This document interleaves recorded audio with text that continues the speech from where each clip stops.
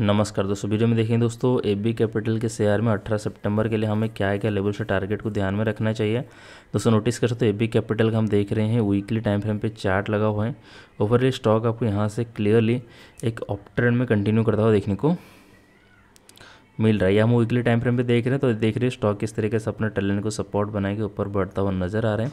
तो अभी कंडीशन के लिए दोस्तों आपको दिखाई दे रहा है वन सेवन का एक रेजिस्टेंस लाइन है, जब इसको ब्रेकआउट करेगा, एक अच्छी तेज़ी मूवमेंट आपको ऊपर की साइड में नज़र आ जाएगा। टारगेट की बात करें टारगेट 253 या 254 में देखने को मिल जाएगा। दोस्तों ए बी कैपिटल के शेयर में अगर हम डेली टाइम फ्रेम पे चार्ट को अगर नोटिस करते हैं तो आपको दिखाई दे रहा है दोस्तों, ये रहेगा आपके लिए रेजिस्टेंस लाइन 192 का और सपोर्ट लाइन दोस्तों आपको देखने को मिल रहा है, यहाँ पर रहेगा 178 में। दोस्तों दोस्तों, अगर बात करें ए बी कैपिटल के शेयर में नेक्स्ट ट्रेडिंग सेशन में हमें कौन से कौन से लेवल से टारगेट को ध्यान में रखना चाहिए तो आपको दिखाई दे रहा है, ये रहेगा रेजिस्टेंस लाइन 185 में सपोर्ट लाइन देखने को मिलेगा 182.75 में, और एक सपोर्ट लाइन रहेगा 180.65 का नेक्स्ट रहेगा दोस्तों 179.60 दोस्तों वीडियो को लाइक ज़रूर करें चैनल को सब्सक्राइब करें बेल आइकन भी दबा लीजिए। वीडियो सिर्फ़ एक एजुकेशन पर्पज बनाए गए स्टॉक में बाय सेल होल्ड करने की कोई भी सलाह या सुझाव नहीं। धन्यवाद।